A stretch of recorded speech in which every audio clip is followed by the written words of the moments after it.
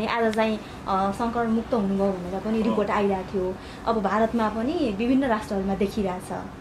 अब नेपाल सरकारले चाहिँ अब यो हवाई उडान क्षेत्र र अनि यो सङ्क्रमण बढ्न नदिनुका लागि नाका क्षेत्रमा भनौँ अनि यो यो उभित्रै पनि नेपालभित्र पनि कसरी यो सङ्क्रमण बढ्न नदिनका लागि र उताबाट आउन नदिनका लागि के गरिरहेछ खासमा अहिले चाहिँ तयारी?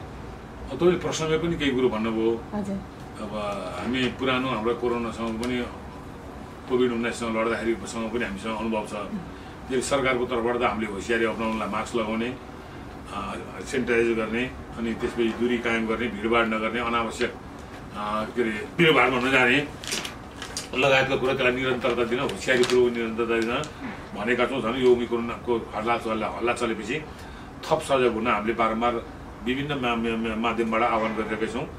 अघि तपाईँले प्रश्न गरेर भने जस्तै हामीले हवाई उडानहरू केही देशको बन्द गरेका छौँ नौवटा देशको।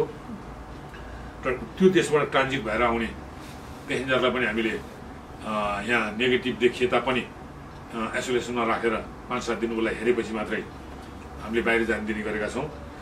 एरेबल भिस्तास लगभग जुन जुन देशलाई हामीले दिएका थियौँ त्यो सबै रद्द गरेका छौँ। र नाकामा सोह्रै नाकामा हामीले डेस्क राखेका छौँ इन्डियाको बोर्डरको। त्यसपछि अर्को सात आठवटा नाकामा हामीले आवश्यक पर्दाखेरि चाहिँ नि आइसोलेसनमा मान्छे राख्नुपर्छ भनेर सेना मार्फत हामीले एक एक हजार क्षमताको छवटा सातवटा चाहिँ ऊ बनाइसकेका छौँ। त्यो निर्माण सम्पन्नै भएको छ। योभन्दा पहिला बनेका अ, आइसोलेसन वार्ड वार्डहरू लगायतका छँदैछन् हस्पिटल लगायतका कुराहरू योभन्दा पहिला हामीसँग पहिलो भाइरस देखिँदा टेस्ट गर्ने ल्याब पनि थिएन। त्यो अहिले हामीसँग सयवटा ल्याब छ प्राइभेट सेक्टर र सरकारी गरेर। त्यसै गरी हामीले अस्पतालको क्षमता वृद्धि गरेका छौँ। आइसियुको क्षमता वृद्धि गरेका छौँ। ग्यास त्यो बेलामा सामान्य आपूर्तिको हिसाबले सोचेका थियौँ भत्तै कोरोना बढेपछि ग्यासको डिमान्ड बढ्यो। त्यसले गर्दा हामीले कयौँ ठाउँ प्लान्ट खडा गरेका छौँ ग्यासको अक्सिजन ग्यास भने अक्सिजनको प्लान्ट खडा गरेका छौँ। त्यो पनि लाखौँ लाख क्षमताको।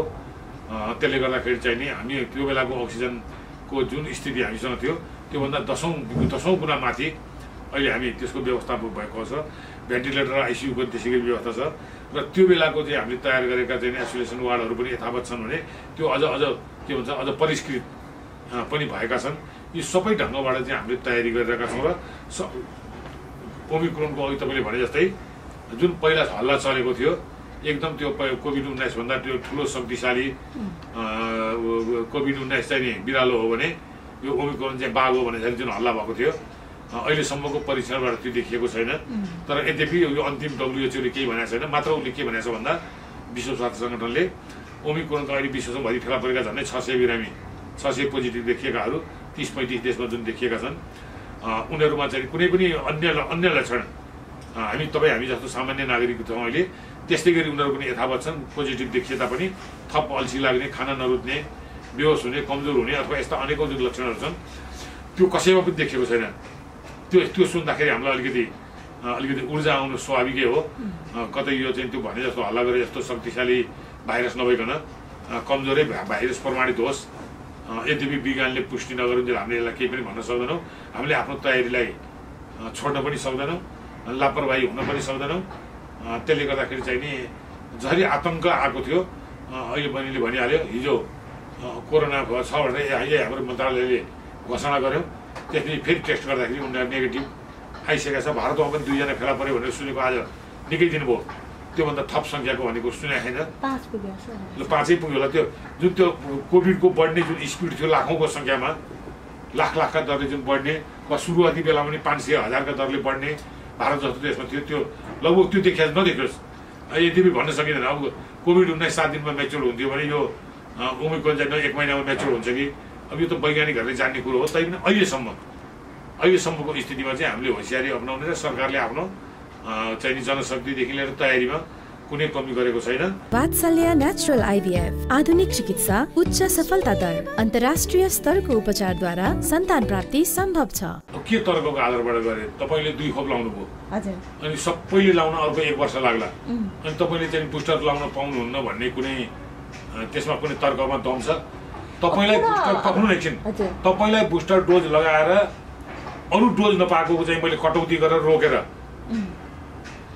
अरूको डोज कटौती गरेर रोकेर मैले बुस्टरमा गएँ भने यो तर्क यो भनाइ जायज रहन्छ। कोहीले एक दुई खोप पनि नपाउने कोहीले बुस्टर पाउने। म एक दुई दुई डोज खोप कहाँ कति चाहिन्छ दिन तयार छु। म त्यो दिन तयार छु। लानुहोस् लगाउ लगाउनुहोस्। भएका सामाजिक सङ्घ संस्था नागरिक समाज पार्टी को को क्लब सबै सक्रिय हुनुहोस् लगाउनुहोस्। भनिरहेको छु भनेपछि उसको अधिकार त हनन मैले गरेको छैन। भने दुई डोज लगाएको मान्छेले तेस्रो डोज बुस्टर डोज लाउनु चाहिँ चाहिँ कसरी हुँदैन भन्ने यो तर्कमा कहाँनिर दम छ। एउटै बिन्दुमा दम हुन्छ। उनीहरूलाई नदिकन यता डाइभर्ट गर्यो भने त्यो अन्याय हुन्छ त्यो गर्न पाइँदैन। पूर्ण जनसङ्ख्याले नलगाएका हुन् कि लगाएका छैनन् नि त? त्यो भएर हाम्रो लक्षित समूह हाम्रो खोप लगाउने ठाउँमा केन्द्रसम्म आइदिएनन् त्यसले राज्य त्यो आएन भनेर चुप लगाएर भन्नु मिल्दैन। हामीले छ सात हजार पोइन्टमा चाहिँ वडा वडा सदरमुकाममा खोपका केन्द्रहरू राख्यौँ। त्यस कारण सहरी क्षेत्रमा बढी पर्सेन्टले लगाए गाउँमा कम पर्सेन्ट मात्रै आए। त्यसले गर्दा हामी? बढी बढी त्यसरी राज्य भएको देश भएको हुनाले हाम्रो कर्तव्य नागरिकमा पुग्ने। अब हामी कुछ पहिलो हप्ताबाट सोह्र हजार केन्द्रमा चाहिँ फेरि खोप के अरे यो खोप केन्द्र राख्दैछौँ। छ सात हजारबाट एकैचोटि अब हामी सोह्र हजार केन्द्रमा राख्दैछौँ। त्यो भनेको जनताको पहुँच अझ सजिलो हुने भयो। बाहिर त्यसले पनि पुगेन भने हामी जनगणनामा चाहिँ टोल टोलमा मान्छे जनगणना गणकहरू पुग्छन्। त्यसै गरी हामी स्वास्थ्य कर्मी लिएर चाहिँ पाँच सात घर दस घर भएका टो ठाउँमा पनि त्यसपछि हामी सोह्र सोह्र हजार ठाउँमा आएको नतिजा कस्तो आउँछ त्यसको त्यसको स्थिति हेरेर हामी त्यहाँनिर पनि पुग्छौँ। बुस्टर खोपको कुरा गरिहाल्यो त्यसो भए कहिलेदेखि अब कुन कुन भनौँ न कस कसलाई प्राथमिकतामा होइन, राखेर बुस्टर हामीले खोप जहिले कोरोना खोप? सुरु गरेका थियौँ यसले सुरुवातमै देशैभरि गरेर लथालिङ्ग चालबाट त्यो सम्भव पनि हुँदैन। अनि यता पहिलो खोप पनि लाउने दोस्रो खोप पनि लाउने जनशक्ति यही बुस्टर लाउने जनशक्ति पनि यही। भनेपछि त्यो त्यो एकैचोटि ठुला कुरा गरेर हुन्न गा- गफाडी हावा गफ हुन्न। अब हामी जस्तै पहिला कोरोना सुरु हुँदा हामीले फ्रन्ट लाइनमा बसेका मान्छेहरूबाट सुरु गरेका थियौँ। त्यो भनेको नौ लाख थिए सायद सेना पुलिस होला पत्रकार होलान् स्वास्थ्य कर्मीहरू होलान् अथवा यस्तै यस्तै। त्यो बेलाको जुन फ्रन्ट लाइनमा बसेका मान्छेहरू सुरु गरेका थियौँ हामी बुस्टर पनि त्यसै गरी त्यही त्यही नौ लाखबाट सुरु गर्छौँ। त्यसपछि नब्बे लाख त्यसपछि दुई करोड एक करोड तिन करोडमा हामी पुग्छौँ। ठ्याक्कै कहिलेदेखि दिने भन्ने बारेमा चाहिँ त्यस्तो डेट तय निर्णय- नभएन हामी चाँडै नै सुरु गर्छौँ। अब चैत्रसम्ममा चाहिँ पूर्ण जनसङ्ख्या। चैतसम्म पूर्ण जनसङ्ख्यालाई भनेकै छैन। छैसठी प्रतिशतलाई पूर्ण जनसङ्ख्यालाई खोप दिनु त खोपै छैन कहाँबाट दिने। अनि नआइकन फेरि बुस्टर खोपलाई दिँदाखेरि त फेरि प्राथमिकतामा परेका गए कि? तपाईँलाई पहिले मैले प्रश्न सोध्नुभयो मलाई पुरा गर्नु दिनुहोस्। हजुर। बाह्र वर्ष मुनिको बच्चाको खोप छ छैन। सम्पूर्ण जनसङ्ख्यामा उनीहरू पर्छ कि पर्दैनन् पर्छन्। अनि अठारदेखि बाह्रसम्म पनि हामीले भर्खर बुक गऱ्यौँ. एक करोड। अठारभन्दा मुनि बाह्र वर्षसम्मकालाई त्यो आएको छैन जम्मा एक लाख नमुनालाई आयो त्यो लगाउनु पाछौँ हामीले पासेनौँ। सम्पूर्ण जनसङ्ख्यामा त्यो पनि पर्छन्। अब एकछिनलाई मान्नुहोस् बा अहिले चैत आउनु अगाडि बाह्र वर्षसम्मको त आयो। बाह्र वर्षभन्दा मुनिकाको हो। खोप चैतसम्म आएन अरे। अनि चैतसम्म सम्पूर्ण जनसङ्ख्यालाई कसरी लाग्छ? त्यसले सम्पूर्ण जनसङ्ख्यालाई होइन। अठार वर्षभन्दा माथि खोप उत्पादन भएको थियो। हामीले त्यो बेलामा घोषणा गरेका हौँ। जुन बेलामा बाह्र वर्षसम्मको खोप पनि आएको थिएन उत्पादन भएको थिएन। यो भर्खर एक महिना जति भयो पन्ध्र बिस दिन भयो। त्यो बेलामा अठार वर्षभन्दा माथिकाको लागि उत्पादन भएको थियो। हामीले अठार वर्षभन्दा माथिको लक्ष्य समूहलाई चैतसम्ममा लगाउँछौँ भनेर भनेको हामी त्यो लगाउँछौँ। अठार वर्षभन्दा माथिकोलाई भनेको। किन उत्पादनै त्यही भएको उम्, अब बाह्र वर्षसम्मकोलाई भयो। अब एक करोड खोप आएपछि त्यो बाह्र वर्षकोलाई हामी स्कुल स्कुल। बाह्रदेखि अठारसम्मलाई हामी स्कुललाई नै केन्द्र बनाएर हामी स्वास्थ्य टोली स्कुल स्कुलमा लगेर केन्द्र बनाएर हामी जान्छौँ। हो ए जान्छ भन्दाखेरि चाहिँ कहिलेसम्म पाउँछन् भन्ने निश्चित कहिलेसम्म एक करोड डोज बुक गरेर पैसा तिरिसक्यौँ डिसेम्बर लास्टमा या पहिलो जनवरीमा उनीहरूले दिन्छु भनेका छन्। यो त अर्काले दिने कुरो भयो। हामीसँग सम्झौतामा त्यो भएको छ। त्यसले हामीले विश्वास गर्ने कुरो सम्झौताको मिति अनुसार उनीहरूले दिन्छन् भनेर हामीले विश्वास गर्ने हो। तपाईँ तपाईँको प्रश्नलाई मैले दिने। त्यो पेपरमा जे बोल्छ त्यही गर्ने हो। त्यसले उनीहरूले डिसेम्बर लास्टमा भयो फर्स्ट विकमा दिन्छु भनेछन् त्यस कारण डिसेम्बर लास्टमा आयो भने फर्स्ट विकबाट फर्स्ट विकमा आयो भने सेकेन्ड विकबाट हामी एक करोड खोप जम्मा बयालिस पैँतिस लाख कि कति लाग्छ? बाह्रदेखि अठारको उमेर समूहको उम्, तपाईँहरूको लक्ष्यमा पचास लाख कति लेखाएको छ? पचासी रहेछ भने एक करोड बुक गरेको छौँ हामीले। भनेपछि दुई डोजै दिन पुग्ने गरी हामीले अहिले नै अर्डर गरिसकेपछि त्यस कारण त्यहाँ अभाव हुन्छ कि भन्ने चिन्ता भएन। अनि अठार माथिकालाई चिन्ता हुन्छ कि भन्दा हामीले साढे दुई करोडभन्दा बढी खोप ल्याइसक्यौँ। साढे तिन करोड खोप पाइपलाइनमा छ। उम्, अर्थात् अठार माथिकालाई नै खोप छैन कि पुग्दैन कि भन्ने चिन्ता भएन। बाह्र माथिकोलाई नि चिन्ता भएन। अब बाह्र मुनिकाको हकमा डब्लुएचओले कसैलाई पनि मान्यता दिएको छैन मैले ल्याउने कुरो भएन। त्यो मान्यता पाउने बित्तिकै नेपाल सरकारले त्यसलाई छिटोभन्दा छिटो ल्याउनलाई पहल गर्छ। तपाईँले अस्ति अस्तिको एउटा कार्यक्रममा पनि भन्नुभएको थियो कि अपेक्षित रूपमा सहरी क्षेत्रसँगै उता ग्रामीण भेगमा चाहिँ खोप लगाउन आएनन् कि भन्ने कुरा गर्नुभएको थियो तपाईँले।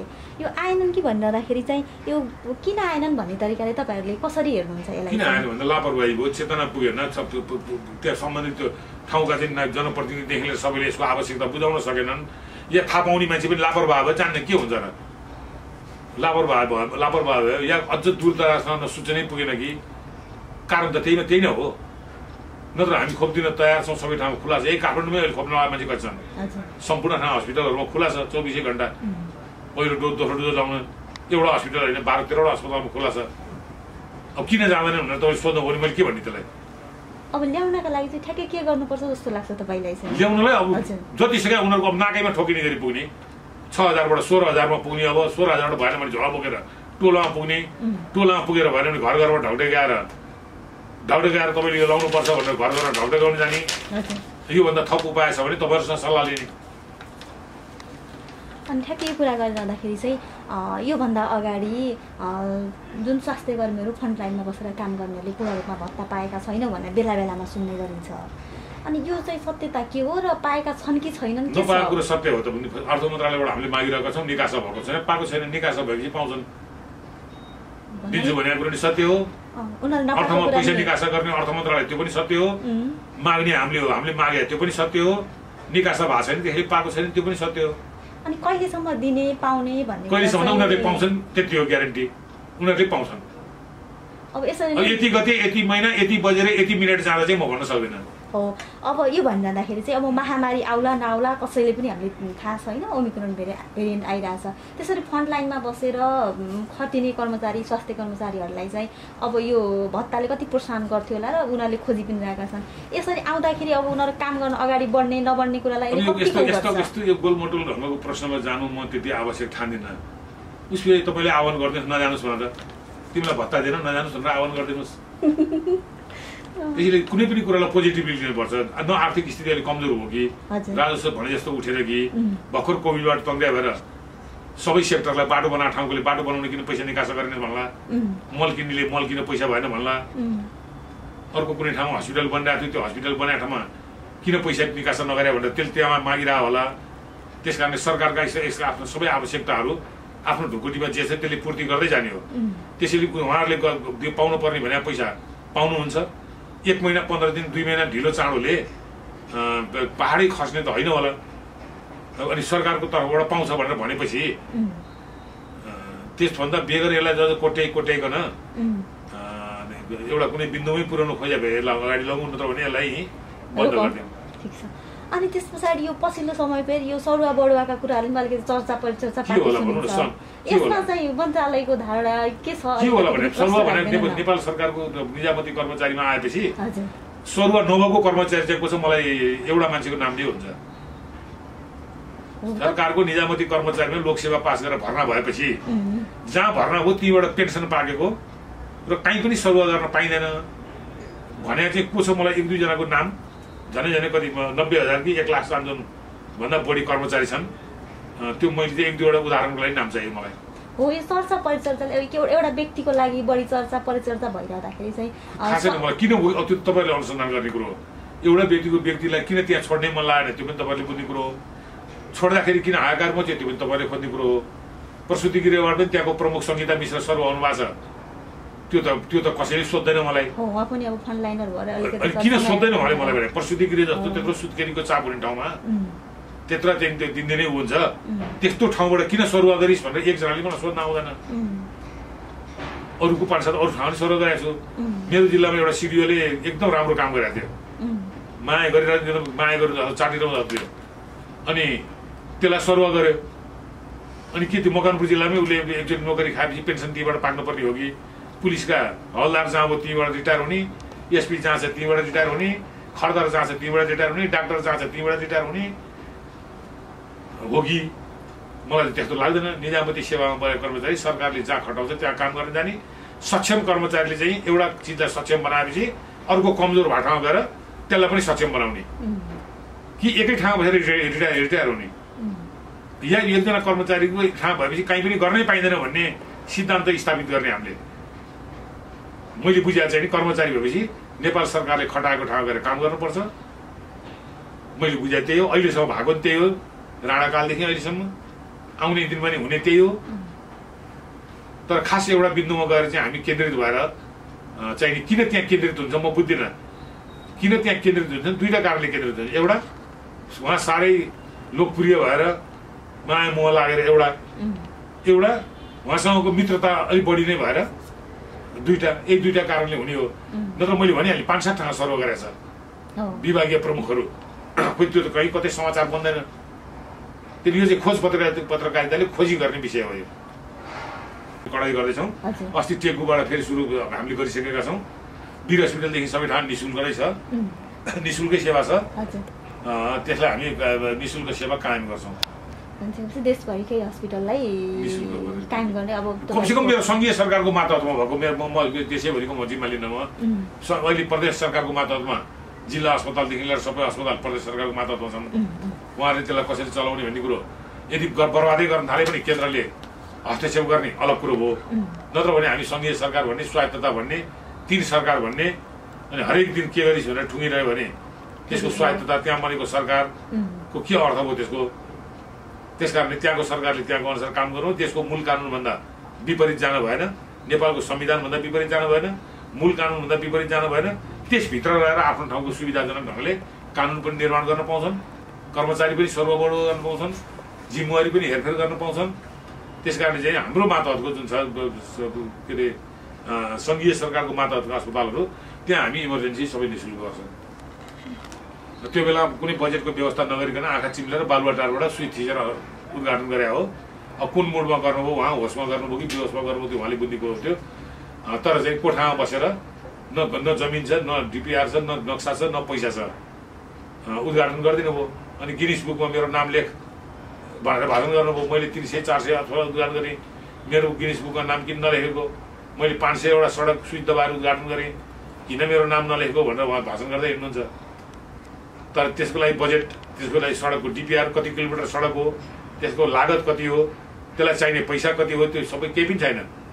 स्विच थिचिदिनु भयो उद्घाटन भयो सिद्धि हो अनि त्यस कारणले अँ, चाहिँ नि त्यो- अहिले म आएपछि जुन ठाउँको जुन पालिकाको पन्ध्र मात्रै होइन पन्ध्र होइन पाँच दस पन्ध्र बेडको छ। थोरै जनसङ्ख्या भएको गाउँमा पाँच बेडको अलिक धेरै भएको ठाउँमा दस बेडको त्योभन्दा अझ धेरै भएको ठाउँ पन्ध्र बेडको। त्यसको लागि जमिन पूर्जासहितको जमिन। या लिजमा लिएका जमिन हुनु पर्यो त्यसको तोकिएको जमिन हुनु पर्यो जस्तो सात रोपनी आठ रोपनी जमिन हुनु पर्यो त्यसपछि त्यसको डिपिआर गाउँपालिकासँग पाएको छ। हामीले तोके अनुसारको नक्सा बन्नु पर्यो त्यो नक्सा बनाउनु पर्यो अनि हामी कहाँ आउनु पर्यो आएपछि मात्रै हामीले टेन्डरमा जान अनुमति दिन्छौँ। पहिले नै मकै भटुवा बाँडे जस्तो पैसा बाँडेर हामी दुरुपयोग गर्न दिँदैनौँ। त्यस कारण सम्पूर्ण चिज तयार भएपछि हामी चाहिँ टेन्डरमा जान अनुमति दिन्छौँ। र त्यो हस्पिटल तयार भएपछि मात्रै हामी अनि उद्घाटन गर्छौँ। हस्पिटल बन्ने ठाउँ भएपछि मात्रै शिलान्यास गर्छौँ। त्यो जमिन पूर्जासहितको जमिन हो यहाँ अस्पताल बन्ने भनेपछि त्यहाँ जग खनेर इँटा राखेर बल्ल शिलान्यास हुन्छ। बालोटामा बसेर सुई दबाएर हुँदैन। हो त्यसैले यस्ता लापरवाही काम केपिओले धेरै गरेका छन् सुधार्नुपर्छ सडकमा पनि त्यही स्थिति भइरहेछ। र स्वास्थ्यको कुरो सुझाव हुनाले हामी अहिले मलाई लाग्छ पचास साठी सत्तरीवटा सत्तरीवटा जति निर्माणकै क्रममा छन्। झन्डै झन्डै एक डेढ सय दुई सय जति हामी सम्झौता गर्ने क्रममा छौँ। अब अरू अरू बिचराहरू जमिन खोज्दैछन् दौडिरहेछन् डिपिआर बनाएका छैनन् चाहिँ नि उनीहरूलाई चाँडो खोज चाँडो गर भनेर प्रोत्साहन गरिरहेछौँ